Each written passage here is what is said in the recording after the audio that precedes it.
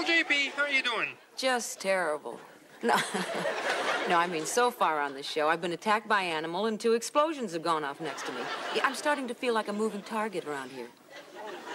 Well, well, let me explain about those explosions. You see, on this show, explosions are one of our trademarks. I can believe that. Uh, in, in fact, on this show, things blow up all the time. I mean, anything can blow up. Uh, you see what I mean? Wow. How'd you do that? Oh, well, it was really quite simple. In fact, it's rather fun. I guess you could say you got a bang out of it, huh?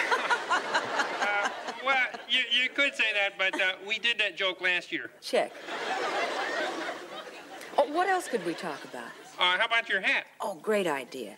You know, uh, explosions are one of your trademarks. Mm-hmm. Well, spectacular hats are one of mine. Oh, that one is fantastic. Uh, I particularly wanted to wear this one on the Muppet Show, too. Oh, where is that?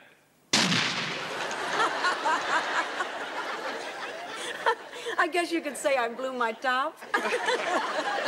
yeah, well, you could say that, but we did that joke, joke last year. year. Mm, figures. Uh, well, Jaye P., I think this talk spot is about over. Shall we leave? Why not? After you.